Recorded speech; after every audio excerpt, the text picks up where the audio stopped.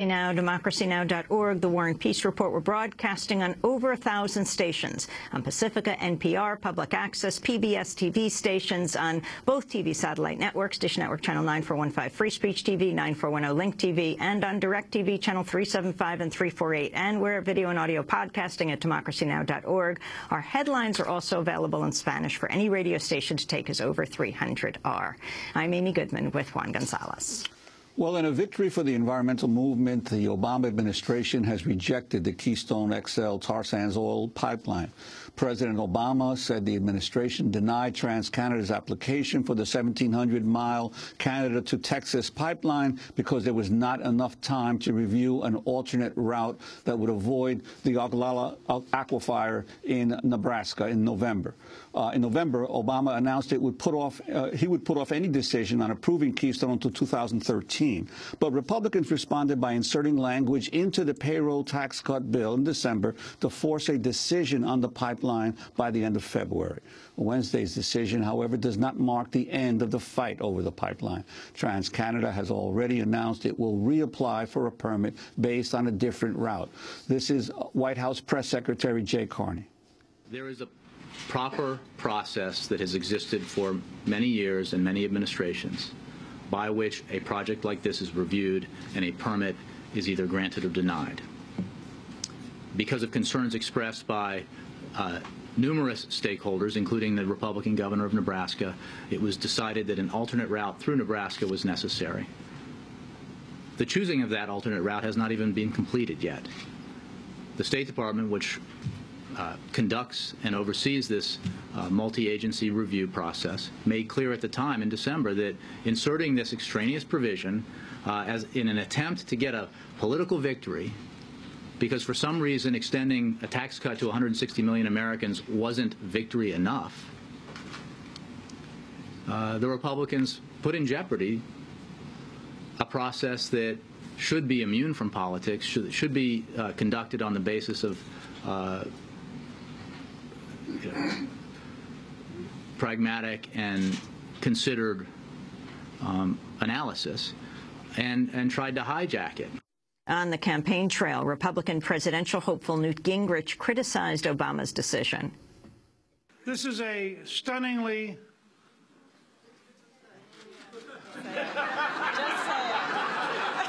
I tried to edit myself. It's just too hard.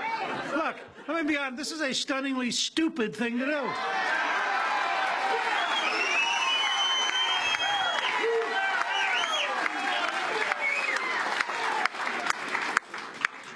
Obama's decision is stupid on three grounds. There's, I mean, there's no better word for it. These people are so out of touch with reality, it's as though they were governing Mars.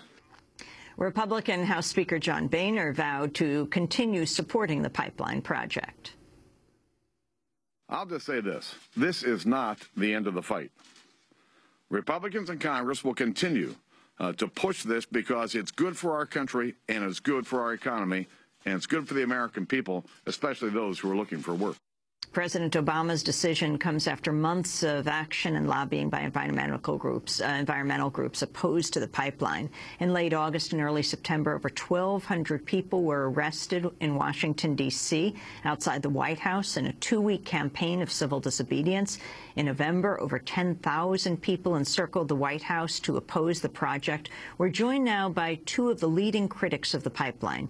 Jane Kleeb is Executive Director of Bold, Nebraska, joining us from Washington. And Bill McKibben, the founder of 350.org, is with us by Democracy Now! video stream from his home in Vermont, where he rarely is. Bill is the author of many books, including Eaarth, Making a Life uh, making a life on a tough new planet. Um, Bill, when you heard the news yesterday that President Obama had rejected the pipeline outright, what was your response? Well, you know what? I had two responses. One, uh, you know, I, I, wrote the first book about global warming, I think 23 years ago now, and there have been precious few days in that two decades when scientists have been left smiling and big oil's been left scowling.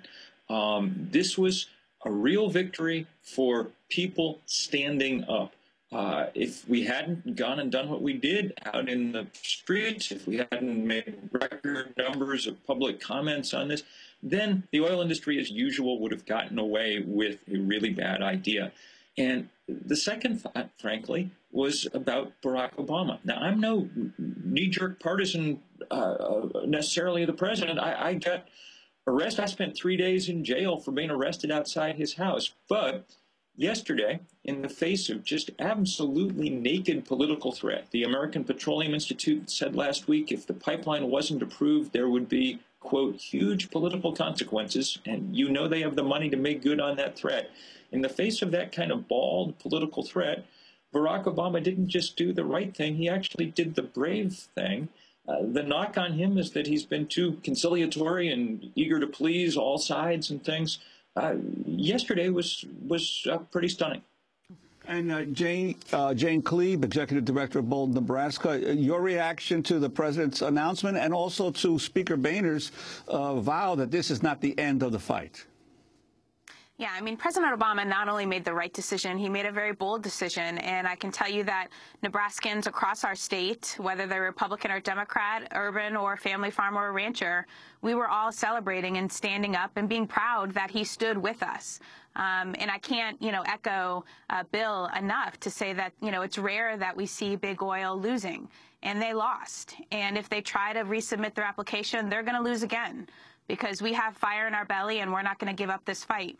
Well, and, you know, Representative Boehner and the Republicans, you know, they don't care about our water, they don't care about energy security, and they don't care about our state. All they care about is trying to make the president look bad, and that is beginning to be seen by the American public. I mean, the reaction has been fierce. Uh, Boehner, surrounded by the Republican leadership, held a news conference yesterday. You can hear, of course, the Republican presidential candidates, but the refrain is jobs, jobs, jobs, and uh, oil energy security uh, in comparison with China. Um, they said they're going to make this a big election issue. Explain what's actually happening in Nebraska. Does this break down along conservative, liberal, Democrat, Republican lines? They are going to resubmit. TransCanada's already said that. They are, are going to resubmit along another route. What would that mean for Nebraska? You know, TransCanada says a lot of things, and so I'm sure that they that they will resubmit. Um, but, you know, they've said everything from if the pipeline has to be rerouted out of the Sandhills, the project will absolutely be killed. We pushed them on that. We required the pipeline to get out of the Sandhills, and it did, you know, at the time, it did not kill the project. And so, you know, TransCanada lies about everything. They lie about job numbers. They lie about where the oil's going. They lie about the risks to the aquifer in Nebraska, you know, this did not kind of fall on party lines. We had folks from our urban communities in Lincoln and Omaha holding hands with our conservative farmers and ranchers on the eastern and western and, of course, in the sandhills of Nebraska. We really were united as a state. And for a while, we even had a lot of the Republican leaders in our state on our side. It was only until they realized that President Obama may deny this pipeline that they wanted to be on the opposite side. And that's the problem with the Republican leadership, not only in Nebraska, but in the nation. Whatever side Obama's on, they have to be on the other side. And it is bad for our nation's energy security policy, as well as the climate, as well as our water, if Republicans are going to continue to behave that way. And I can tell you, some down ballot candidates are going to lose their seats in Nebraska over this issue. And if Bob Kerrey jumps into the Senate race, I can tell you that this will be a key issue in our state determining who's going to represent us in the U.S. Senate. And, and Bill McKibben, what about this issue of the Republican, uh, some of the candidates now saying this is going to become a major issue in the, in the upcoming presidential race? Well, I think the first thing to say is that when you have Newt Gingrich attacking you as stunningly stupid, um, it's not the worst thing in the world. Um, these guys are, you know, unwilling to even accept the basics of physics and chemistry around climate science. So I have no idea why anyone would trust them. Add to that the fact that the numbers they throw around about things like jobs are entirely bogus. The only study that's been not funded by TransCanada showed this would kill as many jobs as it would create. The only numbers that count for these guys are dollars. Uh, the House majority that voted to expedite this approval process, the 234 of them who voted yes, had taken $42 million in money from the fossil fuel industry. That's why we're going to take this fight now on the offensive uh, and really go after that kind of collusion and corruption. Tuesday next at midday we'll be up on Capitol Hill, four or five hundred of us in referee uniforms, the blowing the whistle on that kind of corruption, because we can't simply let these guys continue to do what they've been doing. Take money from companies and then vote on their interests. If it was happening at the Super Bowl, there'd be a national scandal. Uh, but for some reason, we've decided that I think in our sort of cynicism that this is always the way it's going to be on, on Capitol Hill. Well, we were naive enough to take on big oil in this pipeline fight, and we're naive enough to take on their money uh, uh, uh, going forward. We don't want them. We don't want to be paying subsidies to them anymore. We want to take this battle on the offensive. What they did with this pipeline was extreme. Uh, they tried to corrupt the process, TransCanada did, and the President Obama finally stood up was a very, very good sign. Yes, TransCanada can reapply. Anybody can reapply to put a pipeline in. But this time, if they do, I'm pretty sure that the process will be transparent and open, and people will be watching it uh, very closely from all sides. Nothing's going to slide through anymore. Uh, Clayton Thomas Muller, the campaign coordinator with the Canadian Indigenous tar sands campaign, responded to the rejection of Keystone News, saying, quote, this is one battle won for our Mother Earth. Other pipeline battles linked to the Canadian tar sands continue. We remain vigilant in our work with First Nations in Canada and grassroots leaders to halt the tar sands. We're working with activists in British Columbia to stop the proposed Enbridge Northern Gateway pipeline and other pipelines throughout Canada. Um, Jane, if you could envision for us, you know that this is going to be put forward again uh, by TransCanada. What is the route that you expect they're going to put forward, and how do you see Nebraska responding? Well, if they have any sense to them, they won't even go near the sandhills, which means the entry point, uh, which where they want to come through, is going to have to be completely shifted. I think the only acceptable route in Nebraska would be to place this pipeline along the current pipeline that's already in the ground, which is on the eastern part of the state, doesn't touch the sandhills, and really doesn't go through the shallow parts of the Ogallala Aquifer. Um, you know, it wasn't only the sandhills. We were all concerned about the sandhills. That's a huge icon in our state. It's where a lot of our ranchers live. Um, but the other major concern in Nebraska is obviously the Ogallala Aquifer. I mean, there are parts in Nebraska, if you stick a pipe in the ground, water will literally flow out of it from the Ogallala. And that's how folks feed cattle and, and even irrigate some crops in old-fashioned ways. And so that's the real concern. And the only way to avoid the Ogallala Aquifer in a real way would be to go on the eastern edge of the state because the Ogallala essentially covers the entire part of the state. And uh, Bill McKibben, how does uh, campaign finance fit into this? The the the industry is is warning now of consequences of the result of this decision. Uh, they obviously have uh, deep, deep pockets to fulfill that threat. Uh, your sense of what this will mean in terms of uh, the uh, expenditures uh, for this presidential campaign? Look, one big loser was TransCanada, whose stock plummeted yesterday, and Business Week said today that their stock was dead money. But one big winner is, you know, whoever has a TV station that takes uh, commercial ads because no doubt the American Petroleum Institute and the Chamber of Commerce and all the other front groups for big oil will be pouring money at this uh, time and time again. The, the interesting thing is they poured money at it all fall. They ran commercials uh, uh over and over and over again. And still, somehow, though we had no money, we managed to get our message through. We're going to have to be, just like the people you talked to uh, from the Internet Coalition earlier today, we're going to have to continue to be creative in finding other currencies in which to work. We can't match these guys dollar for dollar. We can't even come close. So we're going to have to spend our passion and our spirit and our creativity, and sometimes we're going to have to spend our bodies.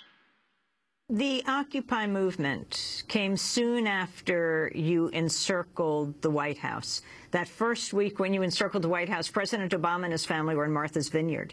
Uh, then they came back and you all kept getting arrested. September 17th, people march on Wall Street here in New York. Do you see this fueling a, um, a further Occupy movement around this country, this victory, Bill and Jane? Well, for me, I, I think the rise of the Occupy movement was one of the great things that's happened in a very long time. And it was a great pleasure all fall. I think I got to visit nine Occupy encampments across the country. And to see that people were focused on not only inequality, uh, uh, economic inequality, but also the kind of underlying environmental effects of this kind of inequality.